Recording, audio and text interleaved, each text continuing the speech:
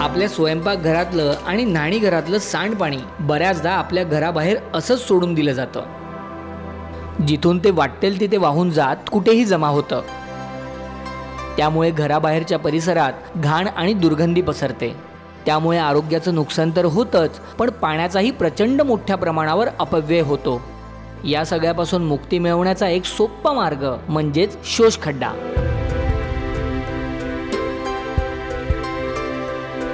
हा शोषखड्डा पाण्यातल्या अशुद्धी साफ करून पाण्याला परत जमिनीत सोडतं. त्यामुळे जमिनीतील पाण्याची पातळी तशीच टिकून राहते. असं समजा दररोज एका माणसामागे आंघोळीसाठी आणि जेवणासाठी वापरलेलं वीस लिटर पाणी असंच वाहून जातं. आता असं समजा की गावात हजार लोक राहत आहेत. म्हणजेच गावातून एकूण वाया जाणारं पाणी हे वीस गुणिले हजार म्हणजेच वीस हजार लिटर प्रतिदिन आहे. जर हे पाणी शोषखड्ड्यांच्या मदतीनं वाचवलं गेलं तर दर साल वीस लिटर गुणिले एक हजार व्यक्ती गुणिले तीनशे पासष्ट दिवस म्हणजेच त्र्याहत्तर लाख लिटर्स वाहून जाणारं पाणी हे गावात पुनर्वापरासाठी उपलब्ध राहील. हा असा चमत्कारी खड्डा आहे म्हणून याला मॅजिक पीट असंही म्हणतात. हा शोषखड्डा तयार करण्यासाठी लागणारं साहित्य सहज उपलब्ध असतं. मोठे दगड छोटे दगड मोजपट्टी मार्किंग करण्यासाठी चुना तीन इंच व्यासाचा आणि आवश्यकतेनुसार लांबीचा पी व्ही सी पाईप दोन पाईपांना जोडणारा एक बेंड आणि एक सिमेंटची टाकी. ही टाकी एक मीटर उंचीची असायला हवी. टाकीचा तळ बंद असावा.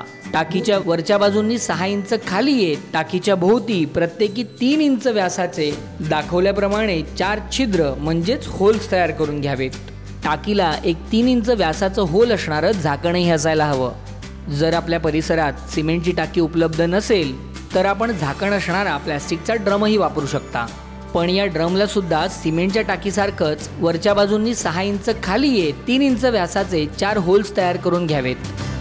आणि झाकणाच्या वरती तीन इंच व्यासाचं होल पाडावं. जेणेकरून त्या होलमधून पाणी जाण्यासाठी पाईप बसवता येईल.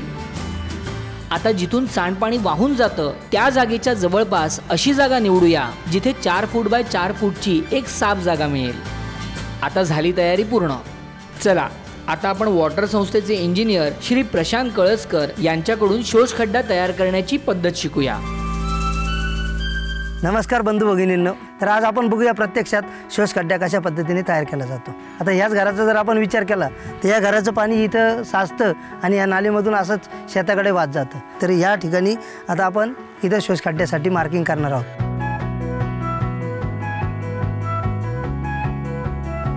चार फूट लांब आणि चार फूट रुंद अशा पद्धतीचं आपण आखणी केलेली आहे. आता हा खड्डा आपण खोदणार आहोत. चार फूट खोल आपल्याला हा खड्डा खोदायचा आहे.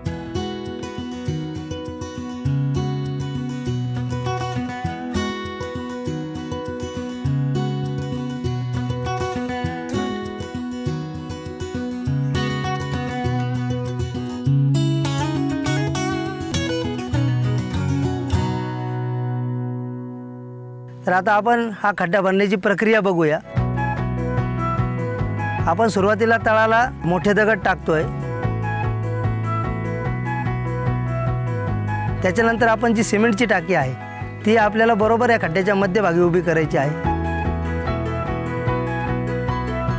आणि त्याच्या आजूबाजूला मोठ्या आणि छोट्या दगडांचे थर आपण मांडत हा खड्डा हळूहळू वरती भरत आणणार आहोत.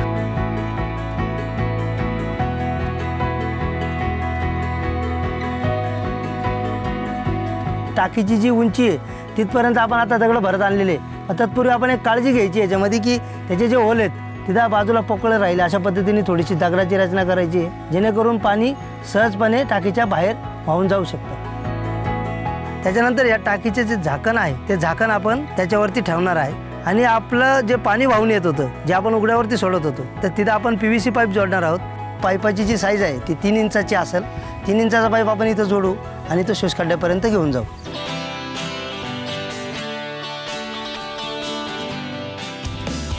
आपल्याला जेवढा आवश्यक पाईप आहे तेवढा आपण आता कापून घेतला आहे आता हा पाईप आपल्याला जोडायचा आहे तर त्याच्यासाठी उतारानुसार आपल्याला थोडासा ढाळ द्यावा लागेल पाणी येण्यासाठी. तर त्यासाठी एक छोटा चर घेणार आहोत आपण आणि त्या चरामध्ये हा पाईप गाडणार आहोत.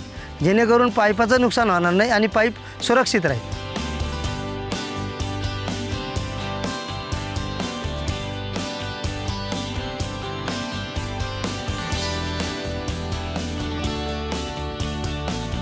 जर शक्य असेल तर जिथून तुमच्या घरातून सांडपाणी बाहेर पडतं तिथेच हा पाईप जोडून टाकावा आणि तिथून तो शोष खड्ड्यात आणून सोडावा. आणि घरातून सांडपाणी जिथून बाहेर पडतं आणि हा पाईप यांना जोडणाऱ्या पॉइंटवर एक जाळी टाकावी जेणेकरून कमीत कमी कचरा गाळ अशुद्धी शोष खड्ड्यात जाईल. आणि हो ठराविक कालावधीनंतर ही जाळी साफ करायला विसरू नका.